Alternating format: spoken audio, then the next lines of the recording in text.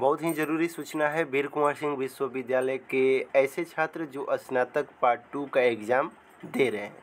उनके लिए बहुत ही ज़रूरी सूचना है। इस वीडियो को लाइक करके तमाम दोस्तों के पास शेयर ज़रूर कीजिएगा, क्योंकि आपका एक पेपर को स्थगित कर दिया गया है। किस डेट को आपको अपने एग्ज़ाम सेंटर पर नहीं जाना है किनको एग्ज़ाम देने उस दिन नहीं जाना है, ये जान लीजिए इस वीडियो के माध्यम से।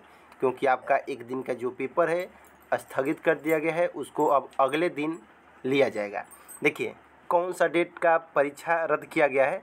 यहाँ पे देखिए, जो आपका तीस तारीख को यहाँ पे देख सकते हैं कि तीस तारीख को जो लिखा गया है, तीस तारीख के सामने बोटनी है म्यूज़िक है फ़र्स्ट शिफ्ट में और सेकेंड शिफ्ट में मैथ एग्ज़ाम है साइंस और आर्ट का।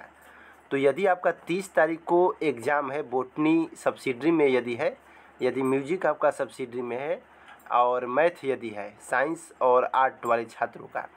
यदि आपका सब्सिडरी में मैथ है, सब्सिडरी में बोटनी है और सब्सिडरी में म्यूज़िक है तो यानी कि तीस तारीख का जो एग्ज़ाम है, रद्द कर दिया गया है।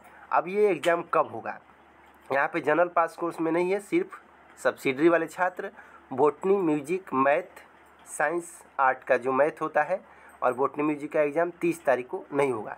ये एग्ज़ाम अब चार आठ दो हज़ार बाईस के बाद होगा। नया डेट जारी होगा, आपको हम बता देंगे। क्योंकि ये एग्ज़ाम हमको जहाँ तक लग रहा है कि पाँच तारीख को, अब देखना पड़ेगा कि पाँच तारीख को कौन सा दिन पड़ रहा है। अब पाँच या छः को ये आपका नोटिस आ जाएगा कि आपका एग्ज़ाम आ जाएगा।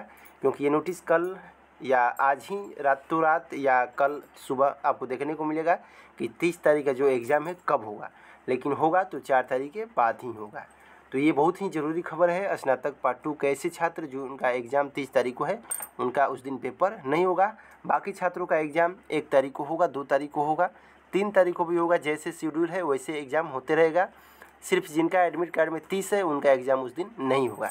उनके लिए एक नया डेट जारी होगा, जैसे फ़र्स्ट शिफ्ट में एग्ज़ाम है, वैसे ही फ़र्स्ट शिफ्ट में अगले तारीख को होगा, जैसे सेकेंड शिफ्ट में, वैसे ही सेकेंड शिफ्ट में अगले तारीख को होगा। ये बहुत ही बड़ी खबर है, आप लोग शेयर कर दीजिए, सभी छात्रों के बीच। तब तक के लिए बाय एंड टेक केयर